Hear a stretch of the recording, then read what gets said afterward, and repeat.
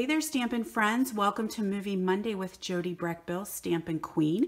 Today's card is going to be this awesome little flip-flop card we created in my WOW class in July and I wanted to create a video for you in case you guys missed it. This is an actual case from a friend of mine, Michelle Suit. She did this on one of her Facebook Lives, and I just loved her color combination. I love the stamp set she's using. I'm infatuated with this paper. I think it's called Pressed Petals. It's gorgeous. So let's go ahead and get started creating this card. We're gonna use the Daisy Lane bundle Actually, we're using the Daisy Lane stamp set, but this is a bundle in our current catalog, and it does come with a smaller medium um, a daisy punch that fits this little guy. And then of course this big one here, we, we have the coordinating punch uh, that we had last year with a, another daisy set. So this is a great little bundle to play with and we've been having lots and lots of fun with it. So let's go ahead and get started. We're gonna take a piece of So Saffron and I'm to pull in my Simply Scored tool and I'm to score it at two and two and one quarter and then we can get this guy out of the way. This is actually creating our mechanism that's going to actually make the um, panels open and shut.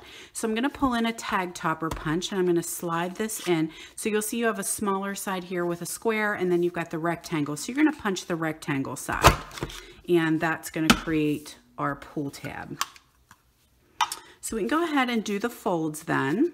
Okay, we've got those two little folds. I'd use a bone folder, but I don't happen to have one on my on my table.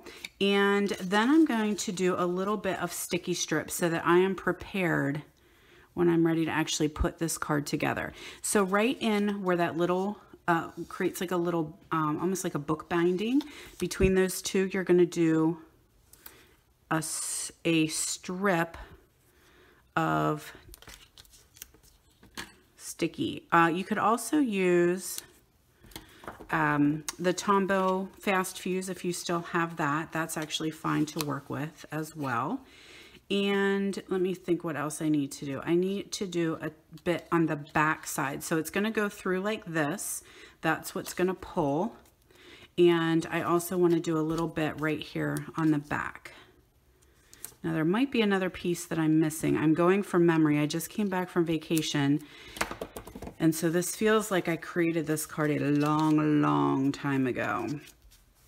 All right, so I think, I'm thinking we're good. Okay, so we're gonna set that aside and we'll do a little bit of stamping.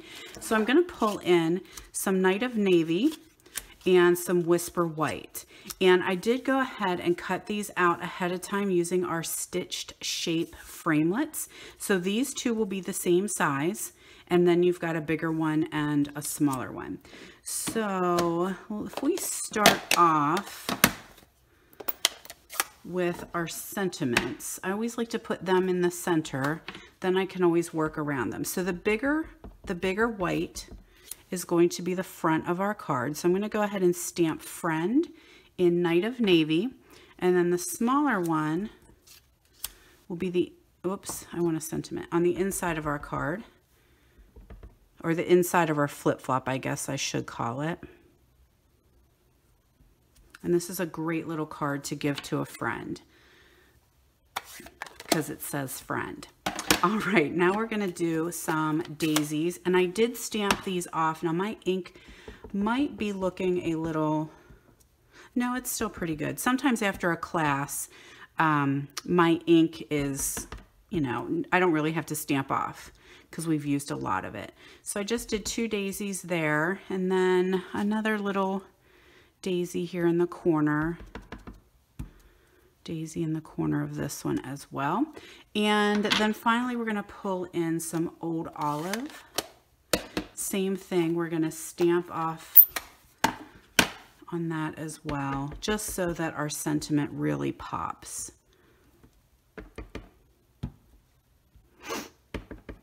There goes my nose running.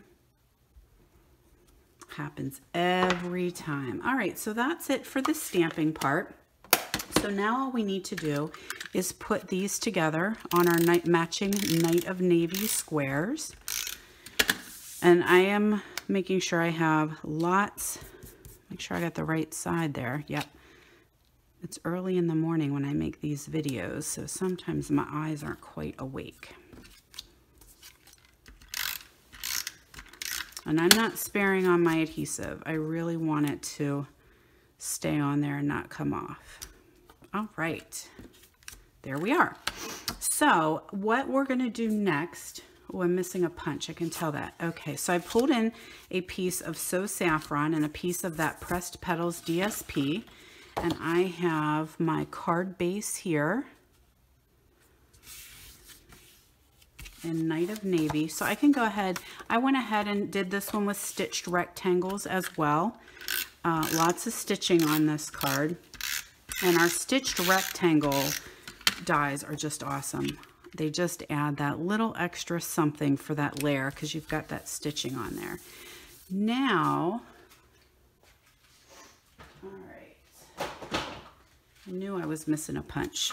We're gonna take the classic label punch and we're gonna slide this in as far as it would go, kind of making sure that you're even on both sides. It's just an eyeball thing. You don't have to worry about measuring at all. And now you can see how we're going to take our little pull tab and we're going to slide it up through like this. Now, I don't need to actually put this together just yet. I am going to put my panels on first. So I'm going to do my inside panel and it is going to be attached right up to the edge of that uh, tear and tape piece that you just did. Now, I just got adhesive on there, and that was that was really dumb, Jody, really dumb. All right, I think we're okay. So I'm just working with this panel right now. Actually, I don't really need to have it on the card. Um, and make sure I don't have any sticky on there. So now I'm just going to kind of eyeball it. What you could do that might be a little bit easier is use tear and tape. Uh, I think that might be what Michelle did on her on her video, and that's that's fine too. That might be a little bit easier. You just peel those two off. So I'm going to have that kind of go right up against there, and I'm going to just make sure I'm eyeballing it. That's kind of in the center. Okay. Now I can peel that piece of tear and tape off. And now my top panel is going to come and same thing, it's just gonna go right up to that edge and I kind of am eyeballing it to make sure. I do wanna make sure that I am straight on my card though. Okay, so if you stay still, hold that down and just right across there. Now I'm going to flip this over onto the back side and I'm going to put that panel on with dimensionals. I just want it to be raised up just a little bit that allows that little pull tab to work uh, pretty easily, help it slide a little bit better. And I'm just going to put a little dimensional right up against the side. I don't want to I don't want to get in the way of the little mechanism that I just created but enough that it's kind of up off my card base. Get rid of the stickies.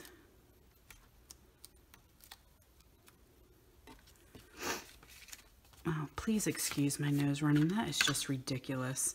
I am fine all day long and then I, maybe it's because it's morning. I don't know. I used to think it was because I got up and worked on the farm and then came in and made these videos, but I don't think it is. Okay, so now I have this little piece of tear and tape here and I'm going to just be ready. So I want to figure out where that center is and I'm just going to push it down. So the one thing that you'll notice that this does stick out a little bit on the side for your mechanism, that does affect your envelope for mailing purposes. So you might have to create your own envelope uh, to send this uh, or make a little bit of a bigger envelope. So now we say a little prayer. Please make sure that this works. And we have a little flip-flop card. Yay! So now I just took a piece of our um, ribbon. This is from the Magnolia Lane combo pack. And I actually am in love with this ribbon. I think it's just gorgeous. It also comes with some Mossy Meadow um, twine, which is great. So fun to work with. And that's just giving you a little bit of a handhold there. So I'm just going to trim that down. Okay, so there we go. And then the final step is I took two pieces of our linen thread and I just I'm creating a little bit of a bow. Not a little bit of a bow. It's it's actually it's it's a real bow. Totally legit. Now, what how do I want to put that on? I want to put that on with a snot dot. Okie dokie. Almost done. Fantastic. So I did okay with being away for like 10 days and then coming back and trying to remember how to create this. Not too shabby. All right, there you go, guys. That is a gorgeous little flip-flop card. Now, as always, I'm going to give this one away that I created on my video. You need to leave uh, a comment on my YouTube channel or on my Facebook page, wherever you're finding this, my blog, whatever works. Now, I do want to put a stipulation, guys. I am picking winners and I'm trying to contact you, but you're not contacting me back with your address. So if it's been more than a week, um, I go ahead and pick another winner. So make sure that you're checking back or you're checking your inbox so that I can get your address to send these to you guys. So happy Movie Monday, and I will see you next week. Have a wonderful week, friends.